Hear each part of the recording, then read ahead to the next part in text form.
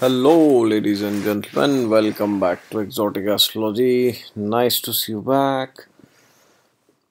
And this is a very interesting thing which I learned recently. And the topic of this video is learn to predict just using nakshatras. Of course, uh, this is an example chart of a Pisces ascendant. It's written ASC ascendant is Pisces Uttar Bhadrapada 3 but I have not included the horoscope to make it a bit different. Uh, generally, we always see the North Indian or South Indian style horoscopes and we start predicting. But today I will teach you something which you can use without even uh, looking at the horoscope all right so just by the flavor of the nakshatras just nakshatras and nothing else not a single horoscope you need to see just the nakshatras that's all. So for example uh, if you if you think uh, what could be the career for this person how would you analyze? Uh, you may think okay maybe this person is Pisces Lagna. So that means Sagittarius is the ninth house sorry the tenth house for this person. And does he have any planet in Sagittarius? Wow Neptune is there but we have no idea of what Neptune does as per Vedic astrology or we don't consider it. So you will see technically the 10th house is empty as per Vedic astrology. So then you will be you might be clueless. Or then you might think oh the 10th lord is Jupiter. He is in Anuradha. So maybe that gives you some clues. But suppose you did not know that this is Pisces ascendant. Now you know it because I have written it there. But suppose you did not know then how would you say or suppose you uh, you you had not seen the horoscope of this person. You just had this list without the ascendant pisces. Then how would you uh, predict just by using the nakshatras well? It's very easy to do that. So of course it's difficult to be 100% uh, accurate but at least you can get an idea so for example, whenever we are talking of career, we need to check certain planets irrespective of the horoscope. The first planet that we need to judge is the sun. Okay, sun is very, very, very, very, very crucial because sun is the one of the karakas for the 10th house he is the karaka for name fame power position and authority so you will see this sun is in Jeshta Nakshatra here. Now for Pisces, of course, uh, Scorpio is in the ninth house, but let us keep it aside for some time. Let us assume we do not know that this is a Pisces Lagna, okay. So we see Jeshta Nakshatra is there here. Then who is the other planet which we should uh, look for career? Yes you are right. It is mercury. Because he is the primary karaka for the 10th house. He represents the skills that we use in our profession. So again he is in scorpio. Again he is in jeshta. He is very heavily combust third see they are almost one degree apart 26 12 25 11 so just bit more than one so bo both the planets are in Jeshta Nakshatra. So what clues do you get? Something very secretive or something hidden should be there, right? Then let us come to the third planet. Which is that planet? You are right. You guessed it right. It is Saturn because Saturn is the Karaka for the Dashamsha chart. Saturn shows the labor that we need to put for getting success in any field all right so saturn here is direct it is in aquarius and it is in shatabhisha nakshatra so there you see again this shatabhisha is coming. Shatabhisha is also related to something very secretive something hidden or something which uh, which you don't like to show to others. It, it's not necessarily bad something which you don't show uh, but it can represent things which you want to keep very private.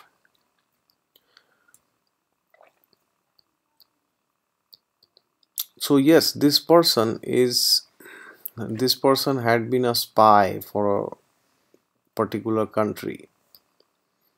And this person did really very well. And what is the job of the spies? To take down authorities and governments right?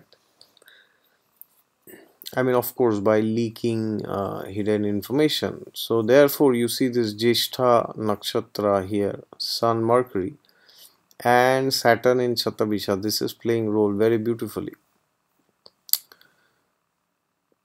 but there are certain things which you have to note here. You see this uh, Jeshta third pada is active. So whenever the third pada is active I have always seen there is too much traveling which the person does somehow or the other.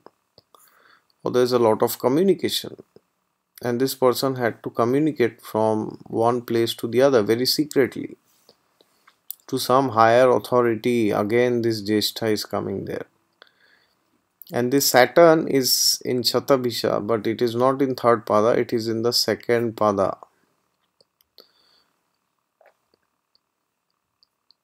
So I have seen when Saturn is associated with the second pada or if the second pada is very much involved somehow then the person cannot be superficial. He has to be very sure of what he is doing. Otherwise he might be caught so therefore the person has to be very meticulous and very detail oriented which definitely he is.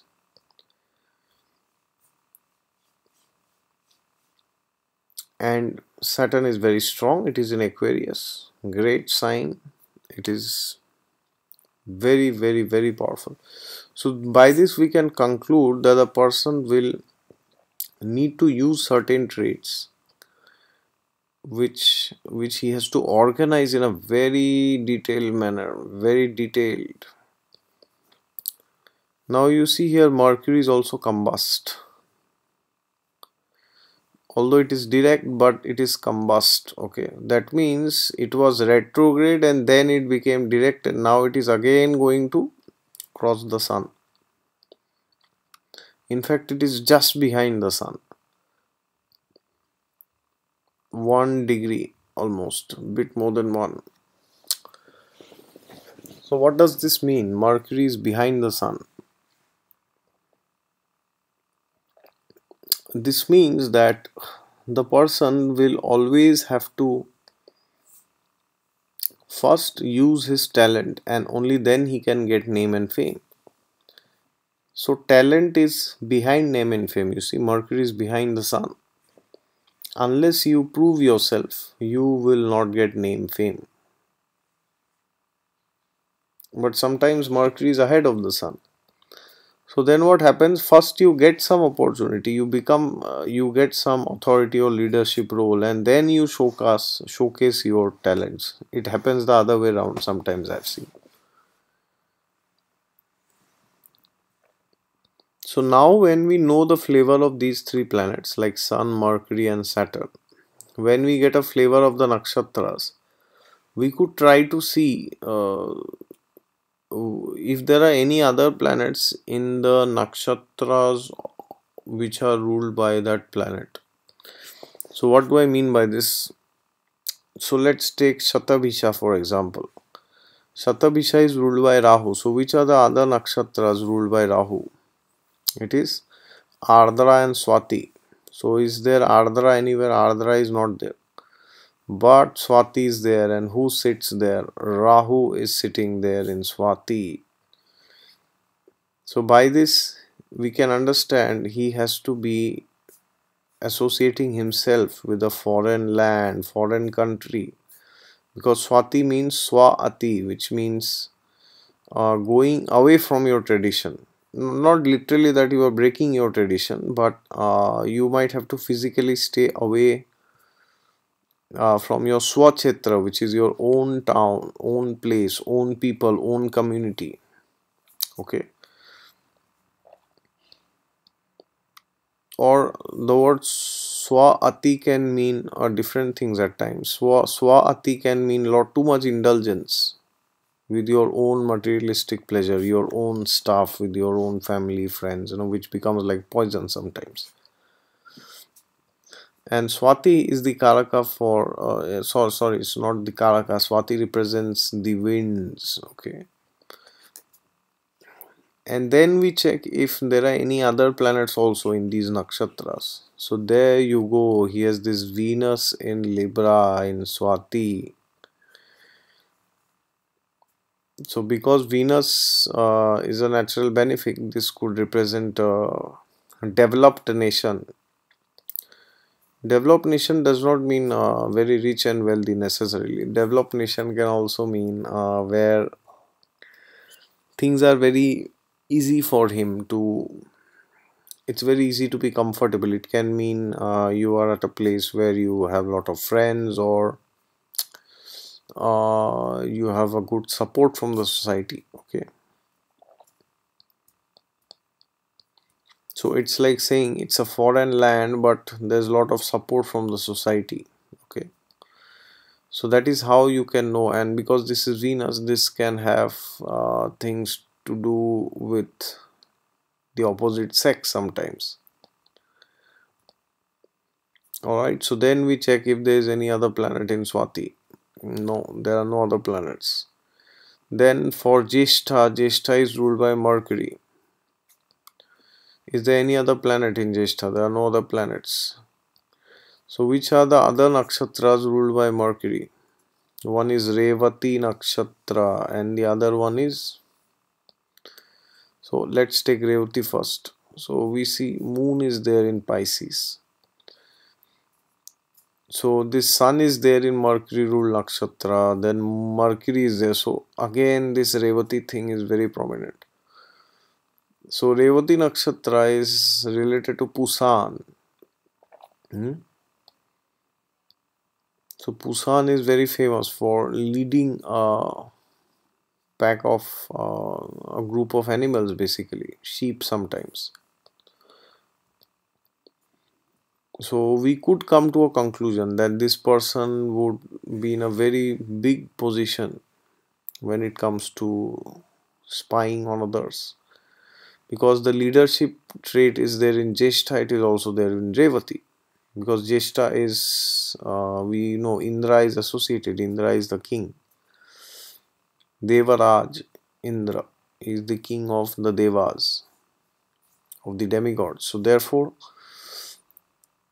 this Revati, this leadership thing is coming from that again.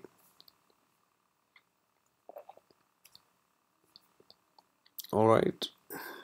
And of course uh, because it is moon so therefore he has to do it in a way that other people like him not that you are just doing whatever you want. All right. So that is Jeshta, that is Revati, and the other one is Ashlesha, ruled by Mercury, but there are no planets in Ashlesha. Alright, so of course there are many things which we can uh, discuss regarding this, but uh, this was just a introduction to this topic and hopefully we will do more videos in the future related to this and if you are new to the channel please subscribe to it down below and if you want a consultation you could go down to the description section of my videos where you will find the link to my website. God is there with you all the time. Just look to him and you will find him. Thank you very much